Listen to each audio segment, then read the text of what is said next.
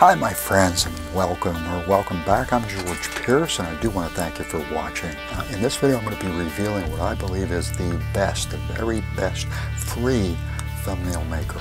There are several reasons, two in particular, that in my opinion push this over the top. And if you agree or, di or disagree, you're welcome to let me know in the comments of course. I do want to get right to it, but first, uh, allow me to remind you that this channel is about growing a YouTube channel and making money online as an affiliate. If either of those are of interest to you, be sure to subscribe. Smash that subscribe button and ring the bell. That way you're going to get notified when these videos are published. In my opinion, the best free thumbnail creator is PicMaker. It's P-I-C-M-A-K-E-R dot com. Let's go to PicMaker and you can see how it might be able to help you as far as creating some killer, uh, some killer thumbnails and quickly, easily, and professionally because uh, the first thing that we're going to do is look at what are, what are called pre-built. So let's, let's go to PicMaker. And if you haven't already joined, it's free to join. Simply go ahead and sign up. Once you do, go log in. And then as you can as you can see, you can use PicMaker to do more than just thumbnails. It'll also help you with a YouTube banner if you want, if you need that. Uh, and it's, uh, it's excellent for IGTV thumbnails as well because it creates thumbnails that automatically fit that portrait size for, for IGTV. If you're not familiar with thumb, thumbnail creators, most thumbnail creators are, going to create a, an image that is a perfect fit for uh, for YouTube, for example, if that's what you're using it for, and that's the case with PicMaker. So you don't have to worry about resizing or anything like that. It's already a perfect match. In order to get the PicMaker, by the way, it does use Flash. So simply click on the lock on your URL bar, click on the lock, the lock and, then, and allow it, and then refresh, and you'll be able to access PicMaker. The first page we come to is what's called pre-builts, and that's simply, these are, there's a ton of already made thumbnails that you can use and simply customize them for, your, for yourself. I've chosen photography hacks. I'm not going to get into changing the text because I don't think you're going to need any help there. But of course we can alter text, we can add text, we can delete text, we can make text uh, bigger, we can make it smaller, and so forth. We can also move in images around, we can resize the images, we can add more images, and, more, and so on. So let's get to the outstanding features uh, in particular that I want to share with you. And the first one I want to share with you is remove background because it's already built in. There's a few excellent background removers. Remove BG is one of my favorites, but uh, since I've discovered PicMaker, I don't need to go to remove BG because PicMaker will remove the background and do a great job. One of the biggest problems that I found with background removal is that they the automatic removers do not do a good job and therefore when you want to remove the background it ends up manual removal and that can get time consuming. When you click on the image, on the right hand side you may notice there's options for brightness, hue, contrast, uh, tint, saturation, and so on.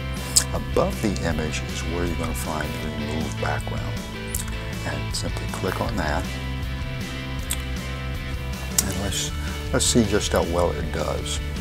So we click on that, click on remove background, and, and we do want to remove the bench. Click OK, excellent. There's all but one little spot, and I'm almost glad that's there because I want to show you how to remove that anyways. And simply over here, and the red will remove, the green will add. If it's remove something you want to put back, click on the green and you can add it back. In this case, we want to remove that spot. We click on that, and then we can size the brush to wider or narrower depending on, on what we need. And once we're satisfied, click done. And as you can see, the background is gone. Next thing we want to do is go to Stickerify. So click on the image and the pop-up. We want to click on Stickerify. And what that's going to do is it's automatically going to outline the image. And this is another feature that is usually usually got to go somewhere else to get that done. And this does an excellent, excellent job, and it does it automatically. And if you want a little, if you want a tighter outline, you can click on inner stroke. If you want more of an outline, you can actually stickerify it more than once. Now let's go to the background feature. Since we removed the background, the background feature will allow us to put in a background.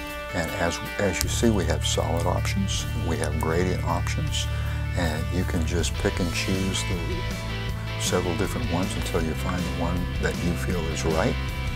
And on the properties, I do want to share with you about properties. In the properties section, you're going to be able to add stickers, icons, charts, images, characters, and more. And sometimes you'll add an icon or whatever and it's not what you want, you can simply delete it. And to add more text, I'm not going to do that, but to add more text, I want to show you how the feature works anyways, is simply click on the text and you'll see you have regular text type text that you can add, but you also have uh, kind of like pre-made text, which is a little bit artistic, and this is, this is excellent, especially if you're creating a thumbnail from scratch. So next, let's go to illustrations and properties.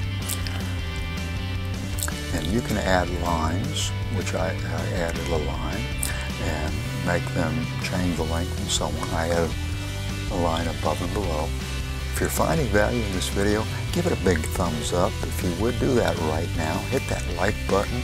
I'd appreciate it. Thank you so much. And what I'm going to do is add a fir tree, and I'm adding the fir tree mainly because I want to show you one one little feature that you may not be aware of, especially if you're new to thumb, thumbnail creators, and that's that you can bring stuff to the front or the back. So if the tree, if I want the tree behind the text, I can bring the text to the front, or I can put the tree to the back. Uh, and of course, I can also size the image. And in order to bring it to the front or move it to the back, I simply click on the image, left click on the image or the text, and then right click on drop down and either move to last or bring to first.